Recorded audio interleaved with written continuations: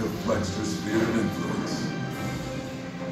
America entered the 20th century as an emerging colonial power whose Navy and Marine Corps served as a mobile overseas force in readiness, set to protect the nation's political and commercial interests in an increasingly competitive and dangerous world.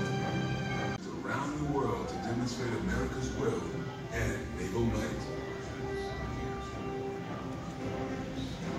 The nation now looked to the Navy and Marines, our seagoing fighting forces, with a critical strategic mission to seize and secure foreign ports as advanced naval bases and coaling stations.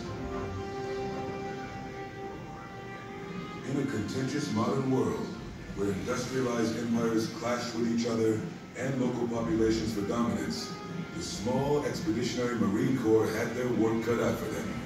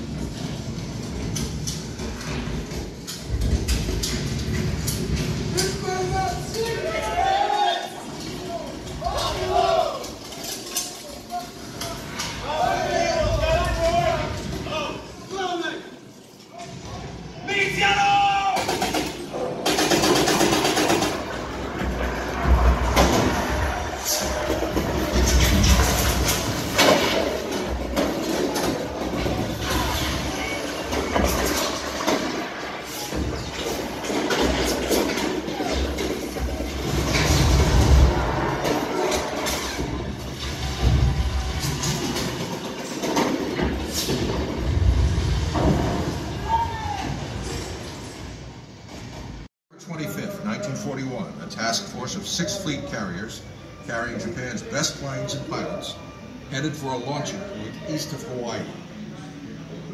Next day was set for December 7, 1941. The Japanese task force arrived undetected, right on schedule. And within hours, America would be at war.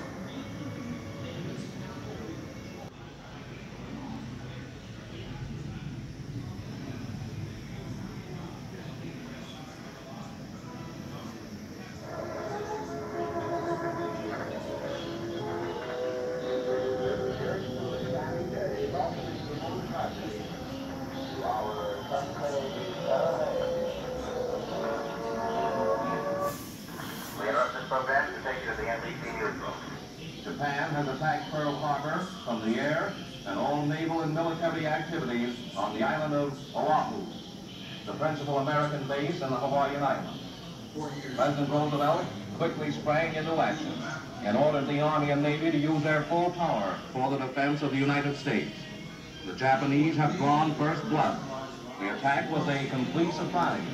We have witnessed this morning the attack of Pearl Harbor. Irene Dunne, Ronald Colman, Hedy Lamarr, Greer Garson, all part of a contingent of some 50 screen celebrities giving their time and talents to aid the national war effort. Yes, in democratic America, everybody is doing his bit. There goes Jimmy Stewart on his way to enlist. A movie star of modern times is sworn into service. Tyrone Power, hero of many a daring exploit on the silver screens of the world. He'll now play his greatest role as a Leatherneck Marine. And how that crowd lines up to buy bonds from their favorites. They buy knowing that every dollar invested helps send more planes, tanks, and ships to the United Nations. When the Second World War ended, the superpowers made a decision to divide Korea into two distinctly different sovereign nations. The border between these two rivals was an arbitrary horizontal line, the 38th parallel. It became one of the deadliest dividing boundaries in the world. The Russian and Chinese-backed communists led by Kim Il-sung in the industrial north and the American-supported fledgling democracy led by Syngman Rhee in the agrarian south. Right from the beginning, the two Koreas were spoiling for a fight. But neither Russia, nor China, nor America wanted an armed conflict to start there. They were too busy worrying about Europe. So, when Secretary of State Dean Acheson gave a speech outlining how the United States was committed to protecting Japan, he omitted the Republic of Korea. Five months later, on the night of June 24, 1950, what happened? Who can set the scene? Our military force in the Far East was operating on a bare minimum. We're poised against the communists in a Cold War, the threat of nuclear annihilation. And what happened in Korea? Right. Although they continue to deny it, the North Koreans invaded South Korea. The Cold War turned hot in the first fighting contest between communism and freedom. It's almost time to go, but let's listen to what President Harry Truman had to say about the Korean War.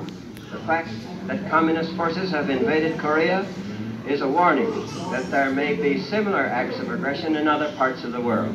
And Chinese had stayed clear. Forecast was good. Assuming victory, the UN command changed its strategy.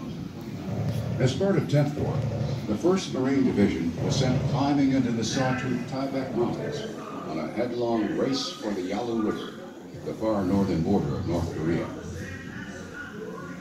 Look here. The 1st Marine Division was about to face an entirely different. Okay, it's cold in here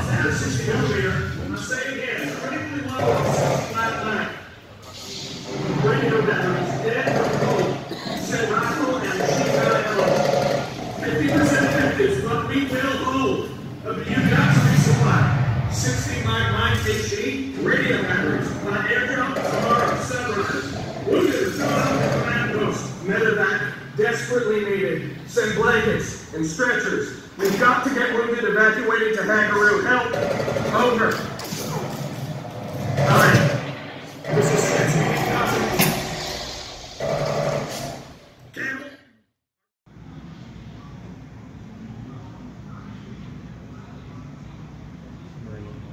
Started Pentagon.